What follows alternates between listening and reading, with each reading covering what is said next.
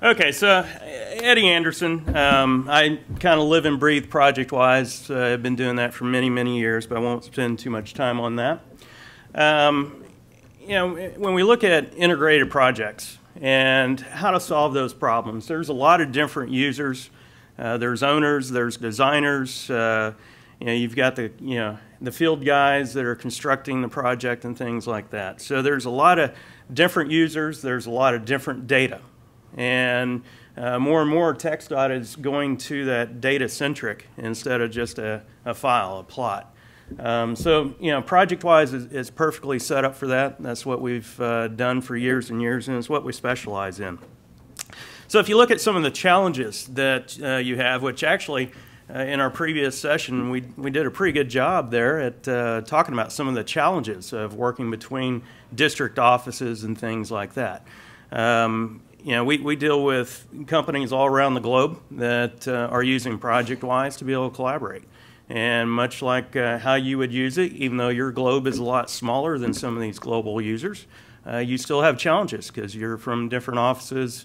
Uh, everybody's on different networks, uh, you know, different network lines and things like that. So you can't just share that T drive with everybody uh, in the company. So uh, we, we do a lot of uh, technology behind the scenes on making that happen, making it where everybody can work on one project uh, where everything is seamless.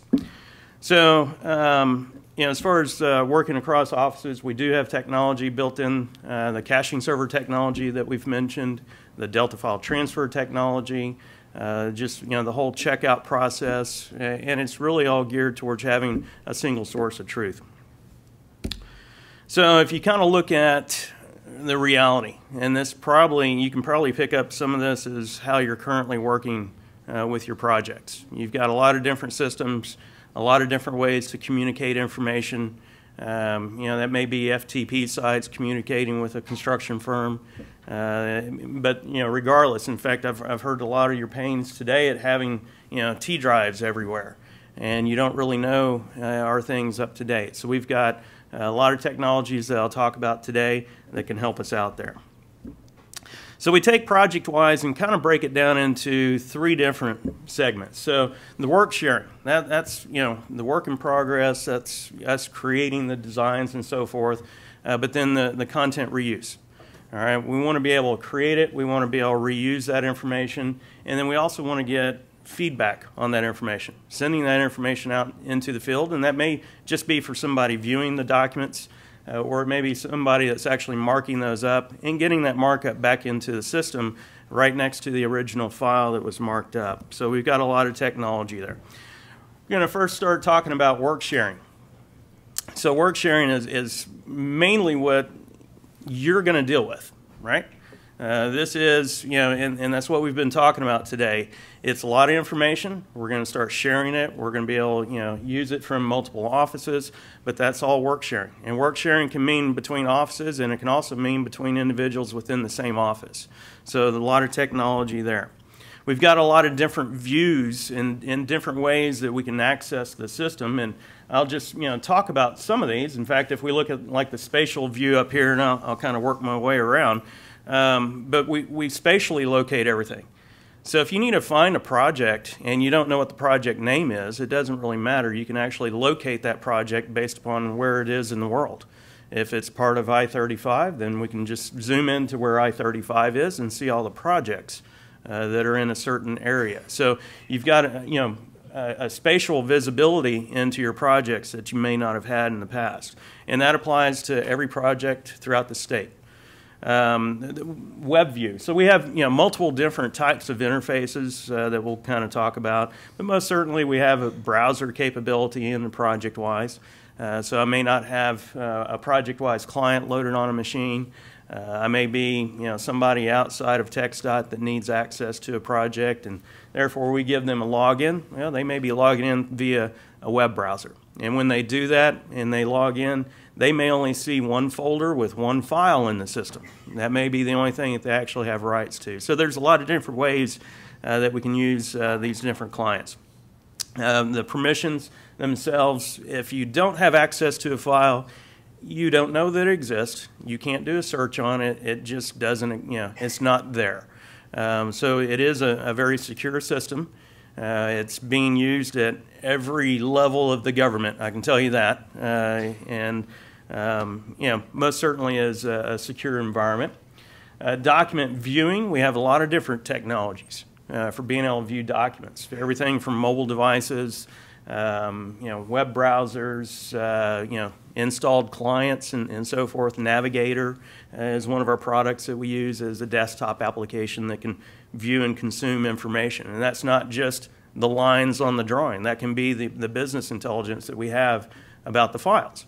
So no longer are we just really dealing with a line as a line. A line may mean a whole lot more than uh, what that line is on the piece of paper. That's the business intelligence. And we're going to be able to start consuming that, especially once we start moving into the 3D world. And, you know, basically, uh, interrogate you know our, our designs, uh, being able to see that information regardless of whether I've got Geopak or Open Roads or whatever product loaded. So a lot of advantages there.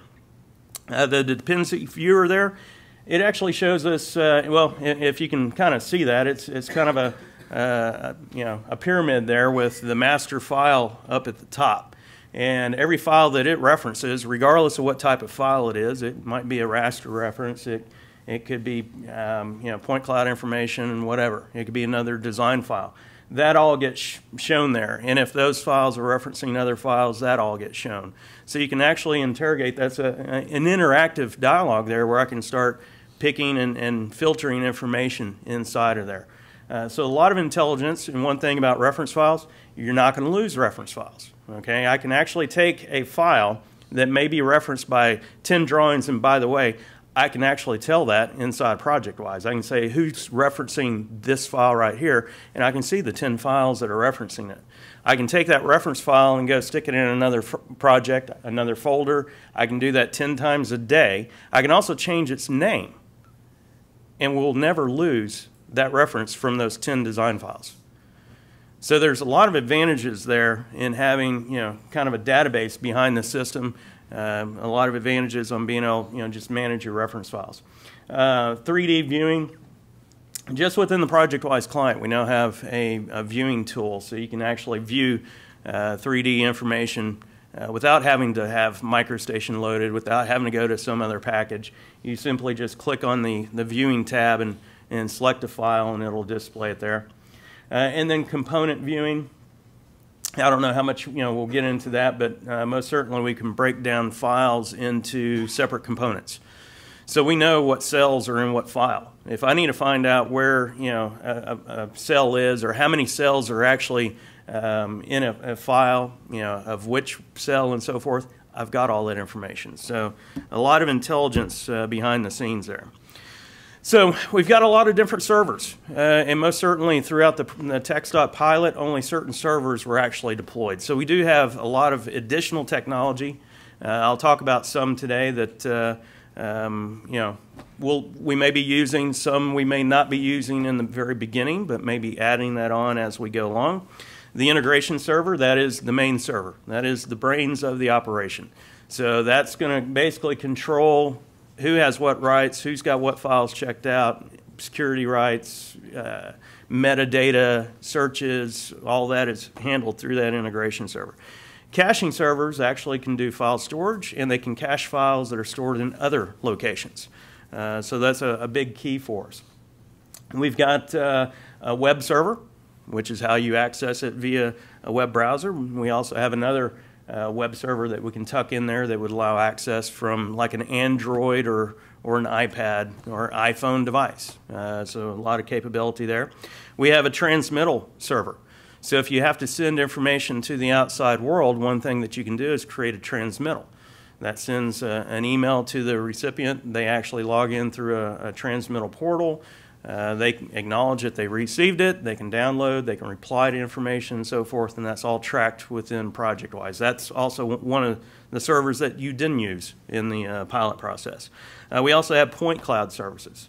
Uh, so as, especially as you get into the 3D world and point clouds become more important, uh, we most certainly can handle those. So content reuse, being able to reuse that information, we've got a lot of different ways that we can reuse it. Uh, but you know, a couple of them that I'm, I'm showing here uh, represent some of the new things that we're doing with iModels. Uh, being able to open up iModel content uh, from Excel and interrogate it through Excel as opposed to MicroStation. Uh, so, you know, there's a lot of different ways that we can reuse this information. IModels are going to become probably a little bit more important. Many people may not have even heard of what an iModel is. But an iModel really allows us to take all the business intelligence that we have about our files and the graphics, and you know, this line is not just a line. It's you know, it could be a, a, a sewer line or something like that. It doesn't matter. But that business intelligence can get packed into that iModel, and then we can consume that iModel from various devices. That can be mobile devices out in the field. It could be um, you know, my iPad. It could be a web browser.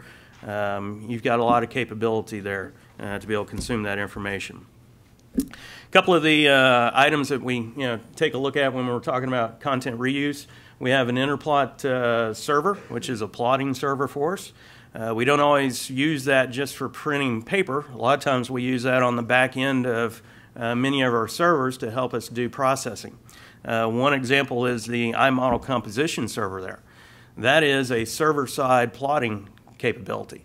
So if I want to uh, create a PDF that's, you know, it's a 100-page PDF, I can actually just uh, tell project, through ProjectWise, I can say I want to create a rendition of this file go off and, and create the PDF of it that's got 100 pages to it. And by the way, send me an email when you're done with it with a link to it.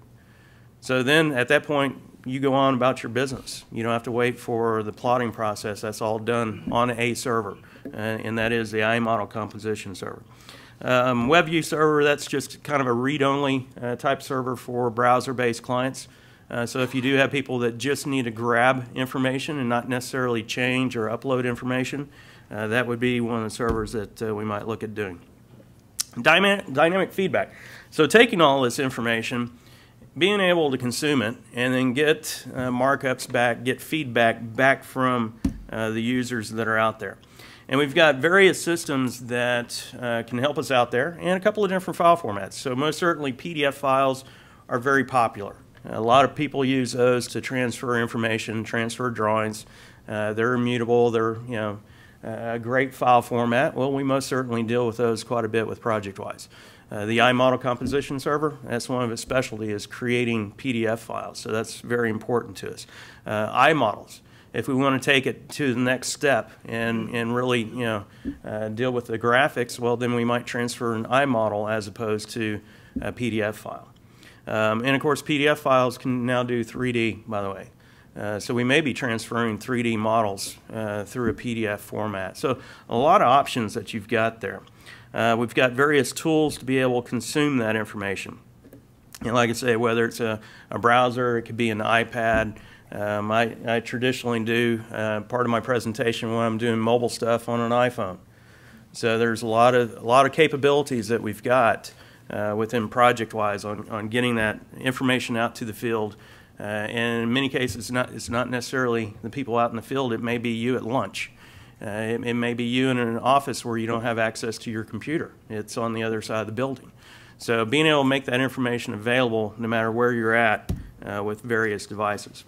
Now another uh, technology that was not part of the pilot is uh, our dynamic plotting. So here's a technology that still uses paper, but yet it turns that paper into electronic format. So with ProjectWise, if you do have the, the dynamic plotting, you could actually plot out a drawing. It becomes an electronic piece of paper. It has actually a, a fine gray background, which is a grid. You take an electronic pen, you mark that drawing up with the pen, and then you can throw away the piece of paper. You just take the pen back, you dock it into a USB cradle, and the markup file gets created back in the original folder where the drawing was located. So a lot of different technologies are out there. Um, you know, I can talk about many technologies that, uh, you know, as we were asking questions earlier, uh, might solve some of those issues, such as uh, our dynamic rights whenever we create a PDF file, we could actually uh, put dynamic rights on it and being able to send that file out to the wild. And even though it may get copied and emailed to 10 different people, at any time, if we revoke the rights on that PDF file, they'll never be able to open it again. Uh, and it may, if it's, uh, if there's a newer version, it'll actually give them a link to the newer version of the file. So a lot of technology out there uh, that we're using. Uh, when it comes to dynamic feedback, one of our main uh, software packages that we use is Navigator. So Navigator is a desktop application. It uh, allows you to open up and consume, you know, DGN type information, mark that information up, uh, and being able to get that back into the system as a markup. And of course, it knows which file it's marking up, so it manages that entire process.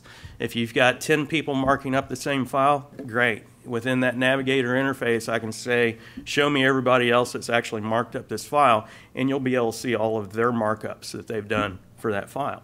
Um, Navigator also has some additional capabilities if you license it that way to do clash detection and schedule simulation. So uh, Navigator, I think, is probably going to be something if you're not using right now, you probably will start using that in the future.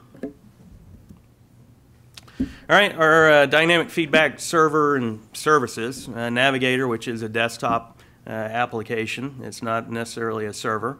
Uh, but we do have our dynamic plotting uh, capability. Bluebeam Review, well, it's not our product, but it's another product out there that actually integrates with ProjectWise. And, and they do, you know, PDF markups. Um, and when, it, when we talk about point clouds, so point clouds, I don't know if, if you're using much uh, in, the, in the way of point clouds right now. Uh, if you're not, you probably will be in a few years. When I first started dealing with point clouds, a, a laser scanner was over $200,000. And the laser, you could actually watch it. It would, you know, shine a, a, a, red beam, and it would basically just go up and down. And eventually, if you watch it over time, it would just start, you know, circling the room, and it's recording all that data.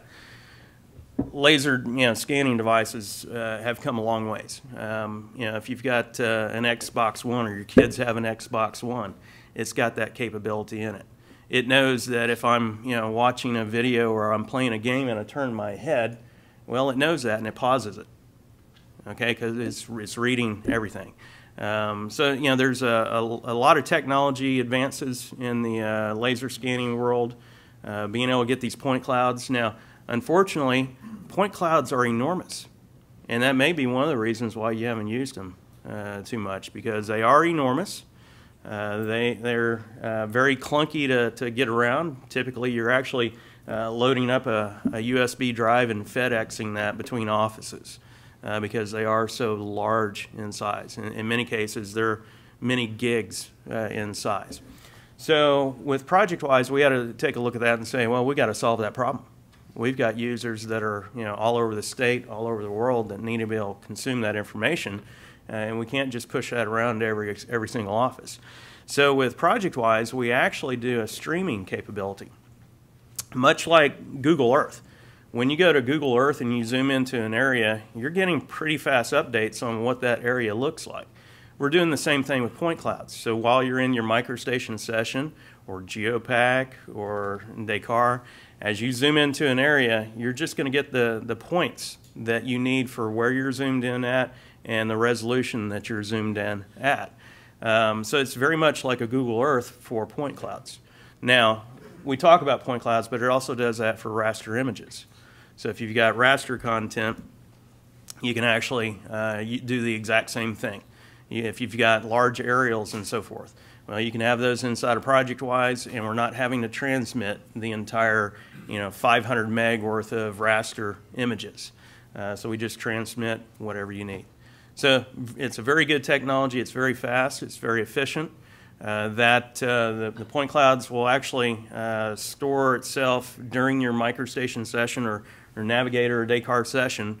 Uh, and as soon as you get out of that session, then that information goes away. So we don't, you know, store point cloud information in a working directory or your caching server or anything like that. We do it per session. Um, so it's very, very fast, very efficient, and some fantastic technology. So, you know, a lot of different ways to, to use uh, point cloud information. Um, I don't know if Derek, you know, I, I, know he's mentioned that in some of the other sessions that he's done, uh, but uh, most certainly that is kind of the wave of the future. Dealing with uh, real world situations, there's nothing better than point cloud data. It is exact. All right, iModel Composition Server. So iModel Composition Server, I've talked about it in that uh, it, it can get us PDFs uh, from a server-side standpoint, uh, which is most certainly some fantastic technology. Uh, we do have other things that we can do with uh, the, the iModel Composition Server. We can generate iModels for one. Uh, so if we do have to automate the, the creation of iModels, we can do that. Same thing with PDFs. We may have jobs set up so that every night at, you know, uh, 7 o'clock in the evening, go ahead and, and create new uh, iModels or PDFs for all these files that are in this you know, folder here, uh, and maybe put those uh, PDFs over here in this, this other location. You can do a lot of different things with it. Uh, so batch jobs are, are key there, but most certainly iModels and, and, PDFs, that's, that's the way of the future. that keeps you from having to wait for a PDF to be generated. Uh, you kick it off and it processes. When it's done, the PDF shows up in ProjectWise. And like I say, you could say, send me an email. Let me know when this is done. And in that email will be a link back to the PDF file that was just generated. All right, and of course, uh, you know, standardize in, publishing. So anything you would do now, uh, you can do with uh, uh ICS, iModel Composition Server. So your CAD standards, uh, the fact that you know you've got a certain shape, you know it's uh, uh, on level you know 22 on uh, a magenta color. Go plot a separate sheet from every one of those in the file. You know most certainly all that type of technology is built into it. All right, and you know, just looking at uh, kind of where it comes from. So a lot of different uh, devices or, or applications. Uh, most certainly, you know, Bentley products. Uh, but we also have connectors uh, for a lot of different systems, such as you know AutoCAD, Revit, things like that. We most certainly can uh, get iModels out of that as well as PDF files. And then we can use that, consume that with uh, many of the different systems that are out there. At that point, it's just a, a PDF. If we want to put that through a, a markup review process, we most certainly can.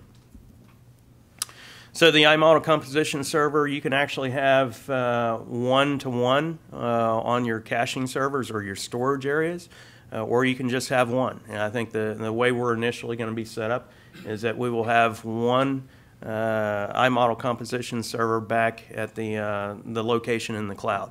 So cloud processing, uh, we can ramp that up with as many processors as we want depending on the load.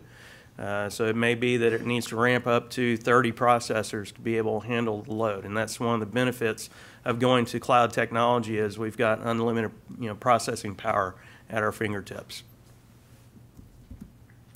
All right, Bentley Transmittal Services. That's a, a system that allows us to take ProjectWise information and send that to somebody that's not in our, our system. So that might be a, a, a, design firm, it could be a construction firm. Uh, we can package up information, uh, key in you know, their user. It remembers the user, so if you have to reuse somebody from a, uh, an AECOM or something like that, most certainly that stays in the system and you can reuse their contact information. Uh, but it does allow us to take information from ProjectWise, package it up with a nice pretty co cover letter and send that email out to somebody. And you can, by default, it's got certain date ranges on it. Uh, so it may be that we want to get an acknowledgement within seven days. Maybe we need them to reply within 14 days. Uh, it'll send out the email, it'll send out reminder emails, it'll you know hunt them down until they acknowledge it uh, and respond if that's what we're needing. So it's a very good system to, to be able to manage that. Uh, by the time that we roll out, we will have the second rendition of that, which is the submittal portion. Now, some people may call them submittals uh, when they submit something to somebody else. We call that a transmittal. Uh, the other half of it is what we call a, a submittal, which is somebody from the outside sending information to you in your ProjectWise system. Uh, so we'll actually have the ability for somebody on the outside they package everything up through the web portal, and then they send it to you inside of ProjectWise, and it's all managed uh, through the interface. So you're going to be able to do dashboards, uh, for example. So uh, dashboards, and that's uh, another cloud technology that we have uh, that'll be incorporated. Those dashboards are going to be able to let you see visibility in your projects that you've never had before. Uh, it also includes transmittal information, so we can see who's the the slowest person responding uh, on transmittals, who's the the busiest responder, who you know how many how many transmittals do I have hanging out there. Uh, it gives you all kinds of different feedbacks, and they're all nice little graphs and things like that. All right, and that is, uh, you know, there, most certainly there's a, a, firewall between there. So there's a uh, transmittal portal that, you know, kind of sits on the outside, and that's what they actually access. Uh, and then that allows us to communicate with, you know, all these third parties. So it's a separate, you know, it, it is a web server. Uh, so there's a, a, portal web server uh, that's out there as well as, you know, what we call a, uh, the transmittal server kind of on the inside. Uh, so that uh, it, it, most certainly is a, a, robust system to handle the transmittal process. All right, uh, just you know, dealing with. Uh, in, in, fact, I'm going to kind of talk about a couple of different technologies here. But uh, when we talk about transmittals, okay, that may be transmitting electronically controlled PDF files. I mentioned before where we can you know, manage those PDF files even though we've just sent them out into the wild. Uh, so most certainly that's uh, a common use is to be able to lock those things down uh, before they go out into the wild and, and, being able to manage those as they go out there. Um, other technologies that we've got, uh, and, and this is another one that's uh, coming out here very shortly, is the ability to use QR codes. So everybody's seen the little square, you know, QR codes at restaurants and things like that, where you scan it and it shows you their website and things like that. Uh, we have that ability within uh, our system, our cloud-based system, to be able to put a, a, QR code on like a PDF, send that out into the, the wild, and, and if somebody wants to verify whether this piece of paper that they've plotted out is up to date, they can pull out their smartphone, scan that QR code, and that basically goes back to the, the cloud system ProjectWise, and it tells them whether that file is up to date or not. So even though you know it's a, an older piece of paper, well, is it up to date? I don't know. Let's find out. Just scan it. Yep, it's up to date, or no, it's not. And by the way, here's a link to the, the updated file. So we've got a lot of technology that you know is uh, out there that we're going to be able to start taking advantage of. Uh, that you you know you probably never could even imagine you know, a couple of years ago. So uh, really excited about that. And a lot, of, a lot of that capability is the fact that um, we are dealing with you know, cloud technology. Uh, because it, it is an access point that's uh, we can give access to anybody that we want to, uh, and all they need is internet access. All right, dealing with uh, ProjectWise out in the field or our information out in the field. We've got the ability to uh, chain up our, our ProjectWise data with various apps. So we've got a lot of apps. I, I think Bentley has a total of about eight apps. Um, I, uh, we're trying to keep them as few as possible. We don't want an app uh, every day to just solve one problem. So we want to make sure our apps uh, are robust. Uh, for example, the field supervisor up there, that is kind of our, if you will, that's our ProjectWise client. That's how you're going to access ProjectWise information. We also have that thing tied up to various systems, other systems that Bentley creates, uh, SharePoint. Uh, so we've got a lot of technology there uh, that we can you know, access through that Field Supervisor app. But we kind of break it down into the four general areas. Uh, document access, you know, that's most certainly very important. But what do you do with it after you've accessed it? Uh, whether it's you know having to mark it up, uh, view it, consume it, take a measurement, whatever. Uh, we want to have that capability through our mobile devices. Uh, field inspection, we've got InspectTech, and there's a lot of technology that uh, behind the scenes that you know now we're doing uh, forms building, so you can actually build a form that you know um, we may have a, a certain you know TxDOT related type form that we want to build into an iPad, so they can go out in the field and an iPad fill it all in and that comes back to the system. Uh, map mobiles for uh, consuming all of our you know, geospatial information. Uh, and, and, as it you know, kind of suggests, that's through a, a map type interface. Uh, model review, The navigator Mobile is uh, our lead product there. That has an enormous capability, uh, and it can view massive, massive models. So there's been situations, in fact, you know, we, we talk about uh, the new version of MicroStation coming out a lot, um, you know, and 64-bit and things like that. Uh, the, the iModel format that we use for the iPad is actually very efficient, uh, and it reads a design file completely different way than MicroStation reads a file. So it's actually able to view a massive amount of data uh, very quickly. You can fly around it like it's a video game. So, and that's where we're, we're kind of getting with our, our desktop applications as well. We've learned a lot uh, from video games and our mobile technology. All right, so Field Supervisor, I just wanted to highlight one of our apps. And like I say, we've got several. In fact, we've got a new uh, on-demand training app. So uh, if you wanted to take training on a particular Bentley subject, you could actually pull that up on an iPad and you know watch the training video on it while you're maybe working on your desktop. But nevertheless, Field Supervisor, this is, like I say, our, our interface into our data. So this is the interface that we would use to be able to consume information out of ProjectWise to be able to uh, open up files, uh, open up PDF files, open up iModels, things like that. You would do it all through here. You can also uh, post files back. So if I had to mark up a, a, a, PDF file or something like that, I could save that back into ProjectWise uh, through this interface as well. So why is ProjectWise different? Well, most certainly the interoperability. Uh, so we've got a lot of different formats that we support, uh, a lot of different systems that we've tied into and so forth.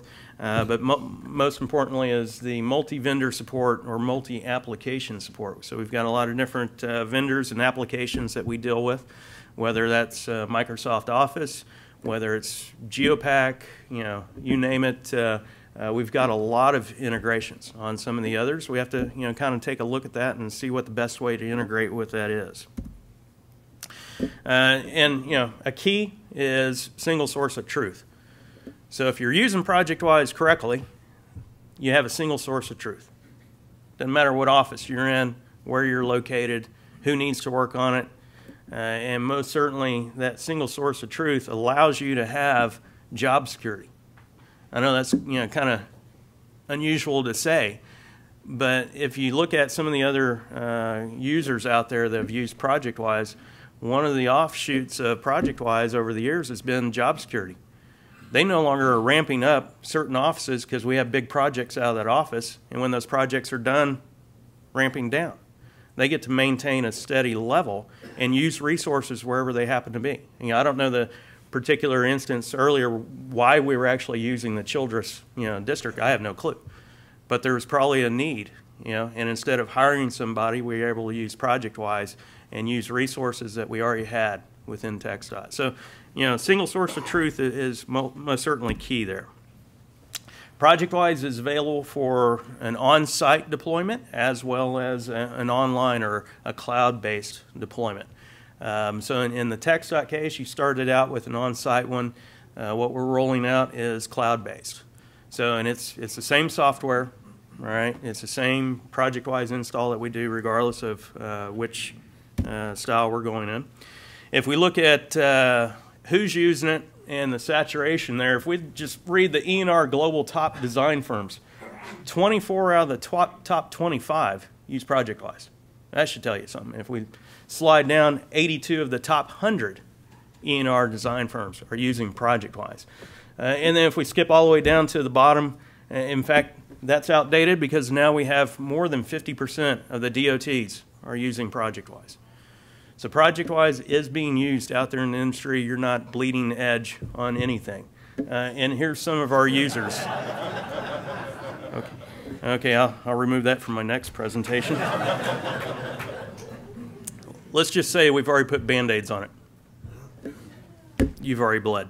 Um, so anyway, uh, we do have a lot of different firms, you know, using ProjectWise and, and many that uh, uh, you probably work with. So here's one project uh, that AECOM did. Now AECOM is uh, kind of a, a, very similar type of situation. They've used both a ProjectWise uh, deployed in-house as well as a hosted ProjectWise system. Uh, so, and they continue uh, to use both to this day. Uh, they worked on a, a project out of Dallas, SH-161. So after that project was completed on their design side, they recognized an $850,000 return on investment that ProjectWise was able to give them. That's a lot of coin off of one project. So they looked at a lot of different things travel, paper, printing, a lot of different areas uh, that they were able to, to recognize a, a fantastic return on investment just on that one project. So, and most certainly AECOM has a lot of projects globally. So they're, they're in the process uh, much like you are. They're expanding their use of ProjectWise. Uh, they are all the way around the globe, so we've got many data centers uh, working for AECOM. Uh, and and uh, they too have, you know, gone through the pains, but they've, they've, you know, fought through it, and now we're, we're very successful with AECOM. All right, so to wrap it all up, you know, work sharing, uh, content reuse, and most certainly dynamic feedback. They're all things that you know you may not have thought about today in how you do your job, but most certainly it's important, you know, for the future to look at how do you get this information out to the field? How do you, you know, communicate with different users? How do you share information? And this can most certainly help you out on doing all those tasks. So, uh, ProjectWise, I, you know, I do believe that uh, in the future you're going to be able to look back and say, good move.